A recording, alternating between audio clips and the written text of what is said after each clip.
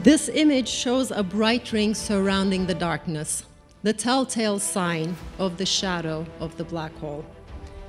Light escaping from the hot gas swirling around the black hole appears to us as the bright ring. Light that is too close to the black hole,